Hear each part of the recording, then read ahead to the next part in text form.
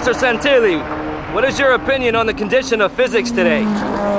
It is my opinion that we are living uh, during one of the biggest scientific obscurantism in history because Einstein theories are imposed via academic power or political manipulations for all conceivable possible conditions existing in the universe from the most um, minute components of uh, elementary particles all the way to the largest possible distance in the universe.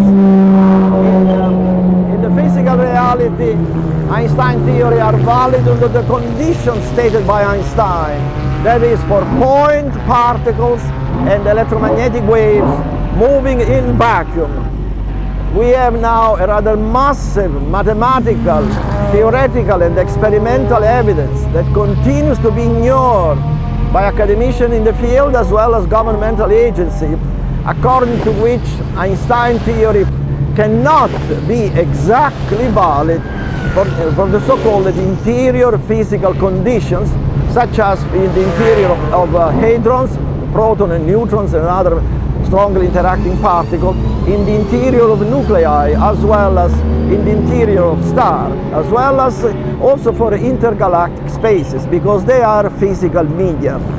It is my opinion that this scientific obscurantism has caused an immense damage to mankind uh, due to the suppression of serious scientific democracy for qualified inquiries.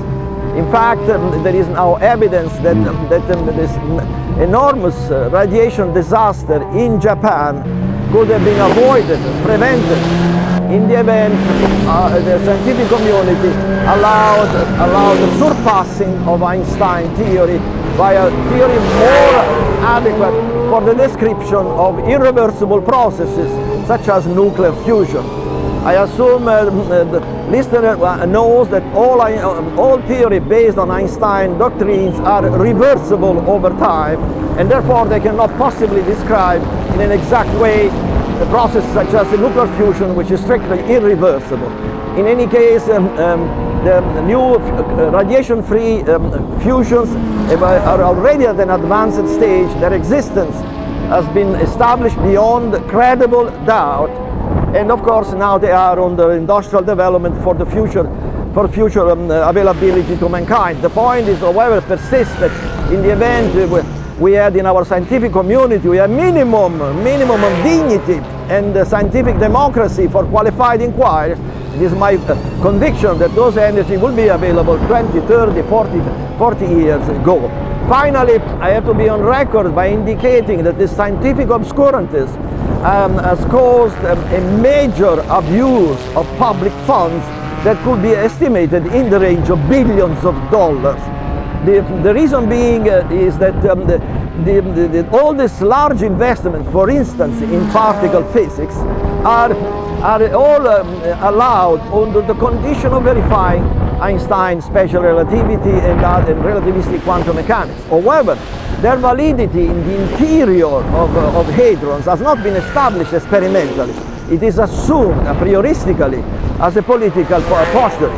So uh, since uh, the basic theories have not been uh, established on serious, protracted, experimental, extensive, detailed and multiple independent experimental verification of their validity or invalidity, since we do not have the space, the totality of the investment in particle physics in the last 20, 30 years for billions of dollars, it is questionable, in my view, as it is according to a number of papers published in referee journals. Once the foundation of a theory are at stake, the entire results, the numerical value are considered experimental beliefs by the individual experimentalist and certainly cannot, uh, cannot be claimed to, to, to be scientific truth. Amen.